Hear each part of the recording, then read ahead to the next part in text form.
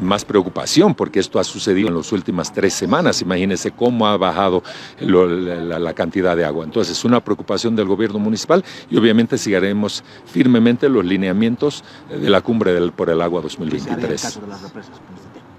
Bueno, en el caso de las represas tenemos que esperar la época de lluvias. Sin embargo, nosotros estamos ya en noviembre sacando, por ejemplo, una reglamentación para uso de aguas grises, que es el agua que, con que nos lavamos las manos, nos duchamos para usar en el inodoro.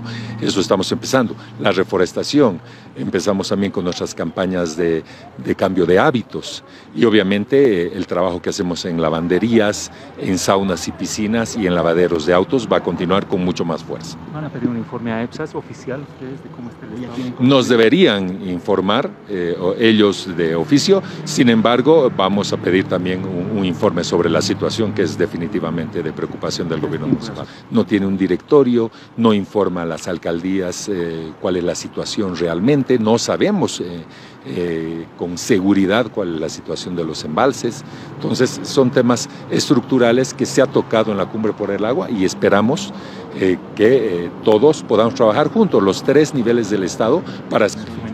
Bueno, en este momento no, pero si sigue esta tendencia, obviamente va a haber un, un, una afectación.